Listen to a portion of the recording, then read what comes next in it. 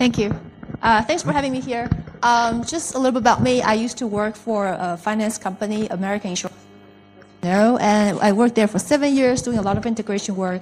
Then I moved into Red Hat, so I did a bunch of like, you know, integration work, a lot of like data pipeline buildings with Apache Camel, and then I did a bunch of uh, OpenShift and Kubernetes stuff. And now I move into the, uh, the Kafka, more of the Kafka world. So in Redpanda, what we do is we are a completely rewrite of Kafka uh, protocol. So we wrote, we wrote everything in C++ basically. Um, so currently we're hosting a bunch of you know Kafka-like Redpanda cluster across the entire cloud platform, right? So we do that on AWS, we do on GCPs, and a lot of them. And one of the common things that we've observed, so these are one of some of the, the metrics I've gotten from our production. This is one of our one of our uh, production environment is that what we found with these clusters uh, is that people are not actually utilizing the full capacity of the broker. A lot of the because the, the the way we rewrite our broker is that we simply do a lot of CPU poolings. So we take care in a, in the way that we write it is we take control of every thread in the in the CPUs and then we continuously to pull from every request and see if it works. And we we've seen a lot of behaviors that um, most of the clusters and most of the brokers are not being utilized enough. And another thing that we've um, kind of see what people are doing is a lot of data ping ponging, right? So I don't know if in the in the Kafka world, at least in the data pipeline, pipeline world, this is a very common thing. Is that if you want to have a consumer, for instance, this consumer wants to uh, serialize their data in Avro, and, but you cannot control what the producer gives you, right? So what they would do is they will probably do some kind of transformations. And the way they do transformation is to, well, you know, set up a data pipeline, and this data pipeline doesn't do much. It just does some data transformations, and they'll write it back to the broker, and then it gets to the consumer, right? That's kind of a very common way of setting things up. And the way to set up these pipelines, you need to set up cluster pipelines, you need to set up machines, and you need to set a lot of things. Um, the, the problem is that there's a lot of networking overhead on top of that, right? So there's a lot of data ping ponging.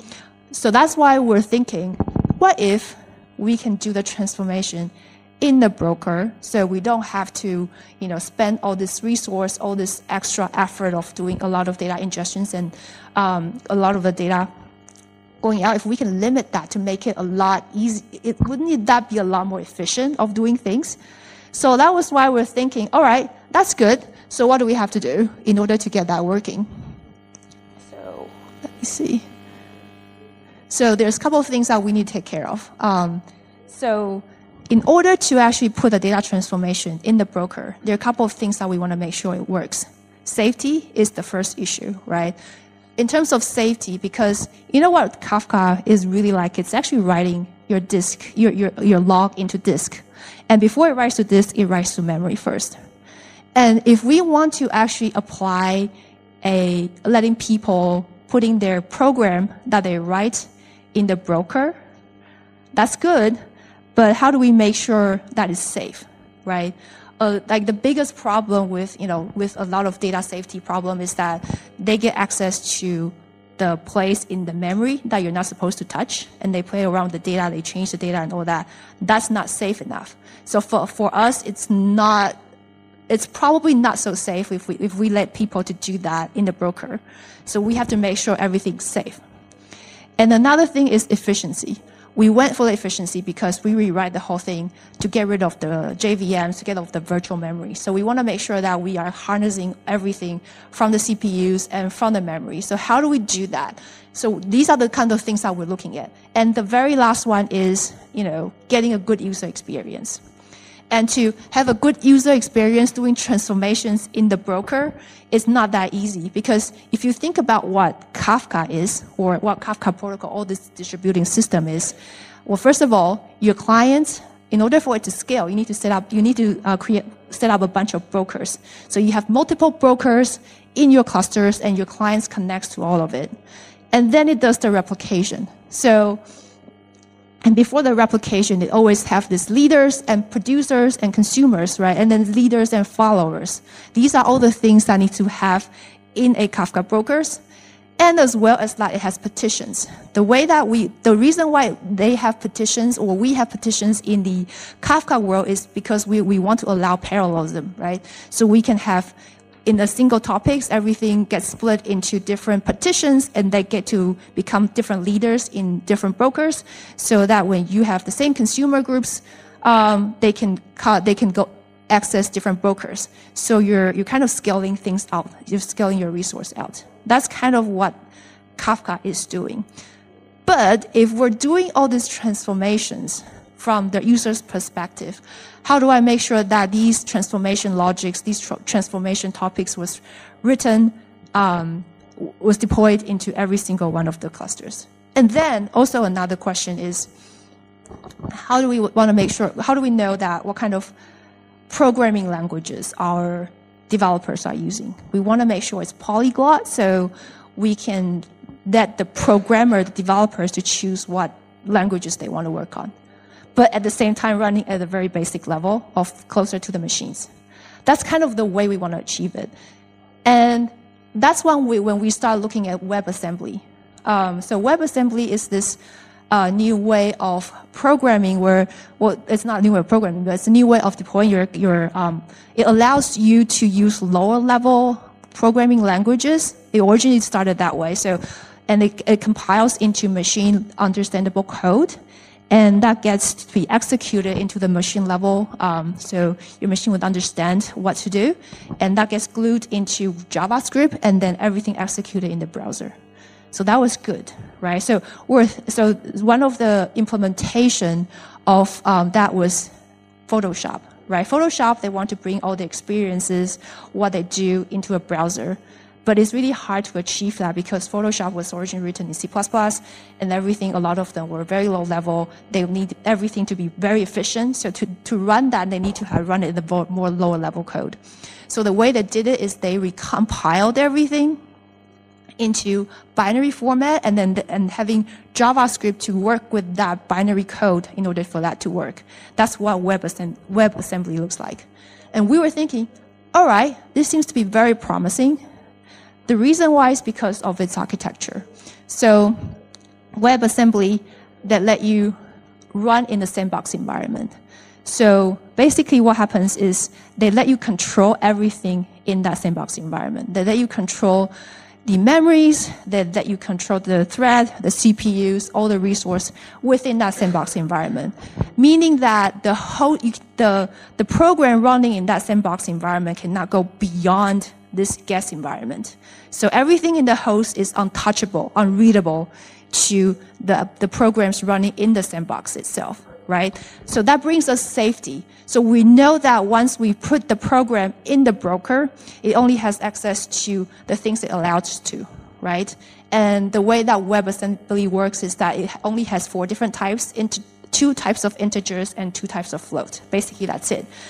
For more larger, more complex data structures, it then turns your integers into pointers or points to that particular um, uh, data, more complex data structures in your memory. So that's how it works, right? So it's very efficient, it's very low level, it's very quick. So we like that. But it was running in the browser. So we couldn't really use that in the broker. But the thing is like there is something called WASI. So this WebAssembly system interface letting us was able to let us to access a lot of the low level um, resource that's available for us in the computer itself right? So it gives us this very portable operating system experiences. So I will be able to access the files. I will be able to access the sockets. Basically, that's actually what I actually about need um, in terms of brokers, because all I'm doing is writing the data, execute it, compute it, and then put it back into another partition. That's kind of what I do in another memory, right? That's what I do. So if we have all this, we can then put our program in that sandbox environment and then putting that sandbox environment in our broker and it's safe. We can run it. And we like it because another thing that we really like about it is the gas meter in CPUs. Because in brokers, what does broker do? Broker is very busy on accepting ingested traffics and then putting that away, right? So that's what it's busy doing. All the computations goes there. And we want to make sure that is the first class citizen in the broker. So everything that broker needs to be done is over here. What the, the data transformation is just, you know, if there's extra resource, if there's other things that needs to be done, I can do it here. So in order for us to do that, we need to put in some gas metering.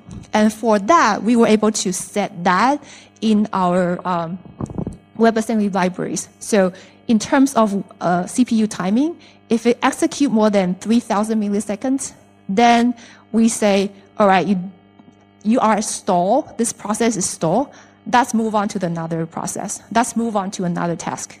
So it doesn't block your CPU, doesn't block your thread. So it will then go back to doing whatever it was doing. And then once the once this task has finished, it will go back to WebAssembly and do the transformations if it's not blocked. And that gas metering allows us to be more free and more scalable in terms of having that in there as well. And another thing is memory. So memory plays a big part in, at least in Redpanda's um, architecture.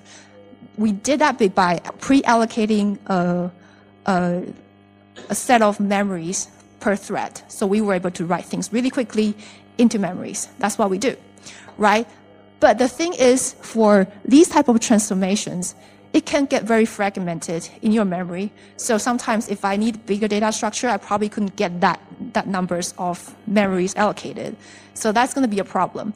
But this type of interface allows us also to pre-allocate memories for our each of our sandbox. So we were able to pre-allocated um, set of memories for them to actually run the transformations in. So that makes things a lot faster. So we really like that, uh, really like that ability to do it. Another one of the uh, really cool things about WebAssembly is because it's a way that it can support a lot of languages.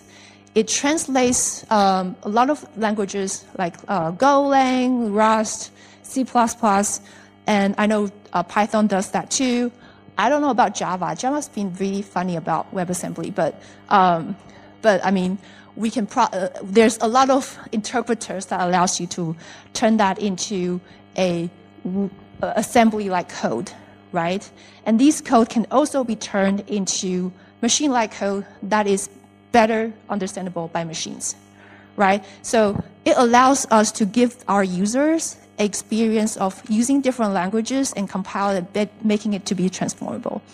And the SDK allows us to give a guardrail to how you write your transformations. So we were able to set a method of things that, so we were able to set, if you want to do your transformations, this is an event that you're listening to, and these are the records that you're getting. So every single time when there's a record that goes into the topic that is listening from, it gets triggered.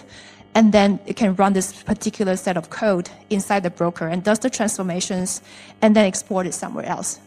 So that's how we did it. Of course, we have to do a lot of um, APIs. Uh, we need to do a lot of our own implementations of what each of the um, each one of the things needs to be handled in our program.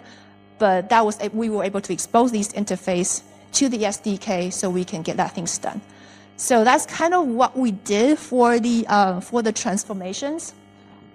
And another thing that we need to take care of is the user experience. Not every one of them are experienced, you know, WebAssembly developers. So we want to make sure it's, it's the easiest for people to get started with. So we also went ahead and create this uh, partic- we went ahead of this uh, compiler.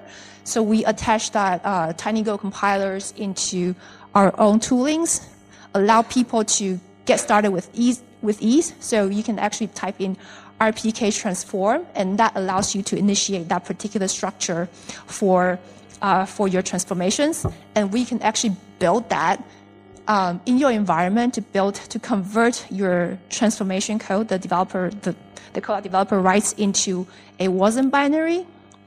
And then you can deploy that into the broker. So what happens in the broker is that once one broker gets that particular WASM, because we have this consensus um, algorithm already built in into our into our uh, brokers, it gets replicated across all the brokers. So you only have to deploy it once, and all the broker would have the copies of it.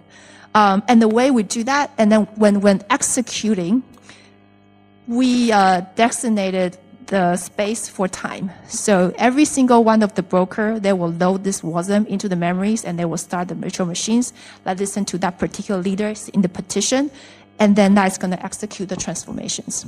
And that's how it's done. So kind of a quick overview of how we decide on if we want to do transformations and if we want to, how do we do that? So that's why how we embark on the journey of adopting WebAssembly into our interfaces. So the reason why I talk about stateless pipeline is because if you look at all the pipelines that people are building right now, majority of them are stateless. They don't have states, they do simple transformations, they do simple reroutings, they do like really easy filtering. That's most of what they do. Some of them does more stateful work, right? And some of them does like higher level analytic jobs where they, you know, need larger data, data sets and they'll process it. And sometimes like really super batch jobs. And the majority of them is down here at the stateless pipeline. And for us, the best suited pipelines are the stateless one, right? Because if you think about it, because we hold everything in memory in the broker, we don't persist anything because it's going to introduce blockage in the, for the CPUs. So these are not ideal workload for the data pipeline processing uh, inside the broker. So we have said that you know if you really want to do data transformations, stateless is probably the best place for you to actually do it, right? So if you want to do simple transformations, if you want to do simple rerouting, this is the best place where you can do it. So basically, if you want to do that, you can write your simple transformations into uh, web uh, and, and compile it into WebAssembly and then deploy that into the broker. And that's how we've done it. So here is a super quick demo uh, to show you how it's done. So I have this, um, let me show.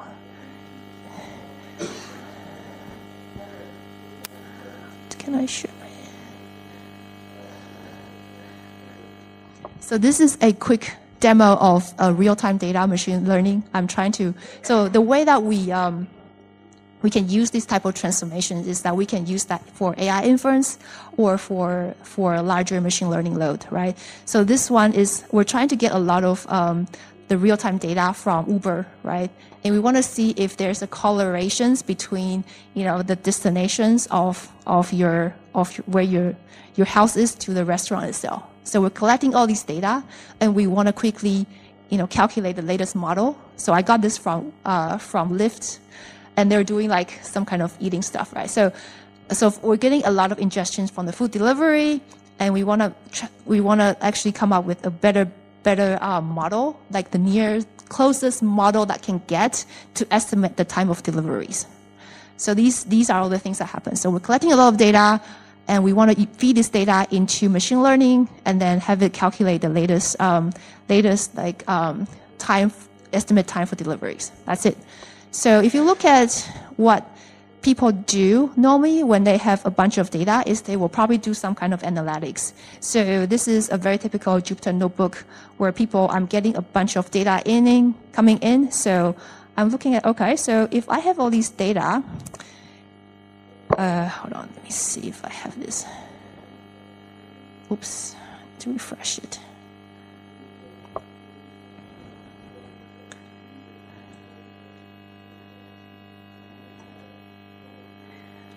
I'm getting these data and I'm getting this data from here as well.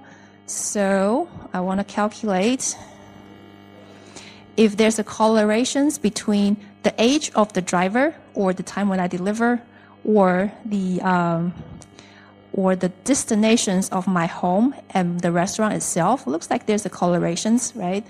And if you look at the vehicle of what this this uh, what this I'm not sharing right we should tell me.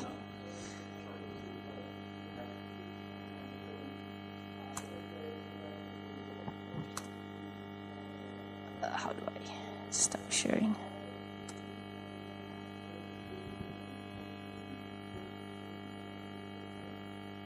Perfect. So I was showing a Jupyter notebook. And this Jupyter notebook is getting a lot of data coming in. So this is a um, this is the uh, the rating of this particular driver, and this is the latitude and longitude of where your restaurant is. This is where the latitude or longitude of your house is, and this is the time it takes for the delivery. So we're trying to find the correlations between these numbers, and we see that there is a correlation between the age of the driver and the destination of the driver, but the type of vehicle is not related to how long the food is going to be delivered to you, right? So what does it relate to? What I'm trying to get? Well, you see, the raw data I'm getting is I'm getting a latitude and longitude for the location of the, the restaurants and the location of your delivery, delivery destinations. And I want to calculate the actual distance between those two, right? So I need to write a, like a geometry. This is where geometry actually works, like in real life. Um, so you can get cal- calculate a triangle, kind of like extra destinations and all that.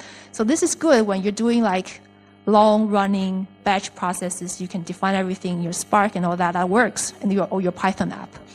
But if you're getting everything from your from your, your edge devices, you're not going to do that. You're not going to you know, get anything right away. So can we do the calculations in the broker? Do the destination calculations right away in the broker. Can we do that? Right. So that's why I want to talk about it. So in order for us to do that, I'm writing a quick program. And this program does a very simple thing. It calculates the distance between the restaurants and delivery with geometry, right? It does that. So I just wrote a quick applications, and this one just calculates the, the straight destination of it. So when I take in all these destinations and longitude and latitude, I can quickly provide that to my model training so that's called feature engineering. So I'm actually doing the feature engineering in my broker quickly. And, and, and once I'm done with that, I can then deploy that into my, into my brokers. So how do I do that? It's pretty easy. So I can do RPK.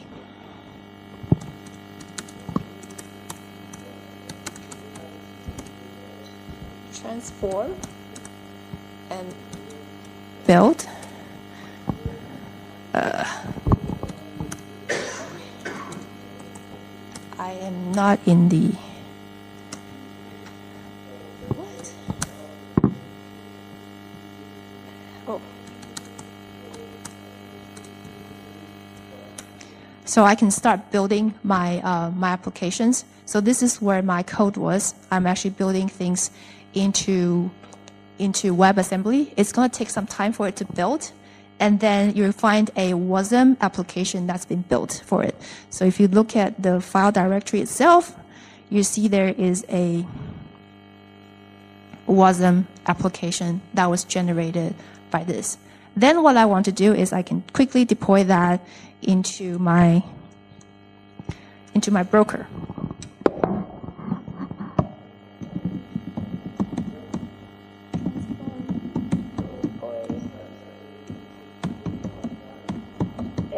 Topics. I have two topics. One is the raw data topic and then model data. So I'm actually transforming from my raw data topics into my model data topic. So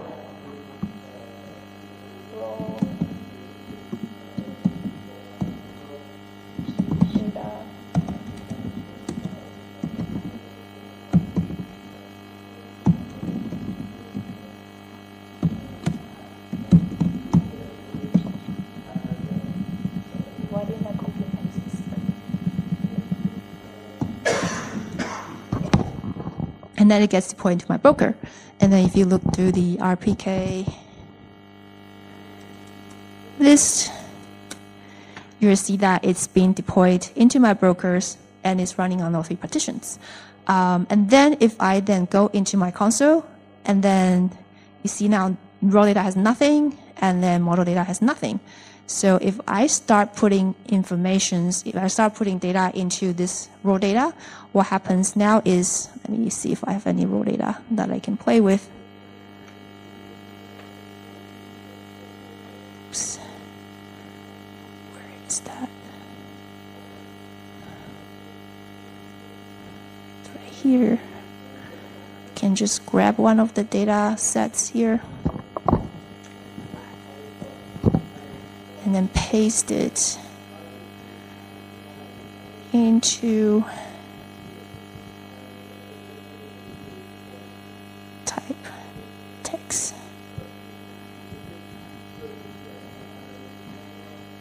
If I put it into the topic here, and if you go back to the model, you'll see that data gets transformed right away. That's all inside the broker, and that's how it's done. So, as, uh, and then you can see we can deploy as many as we want, and everything gets transformed and deployed in the broker quickly, and that's how we did it. So, that's kind of the end of my uh, presentations. I think I'm ready for questions. Do you have any questions?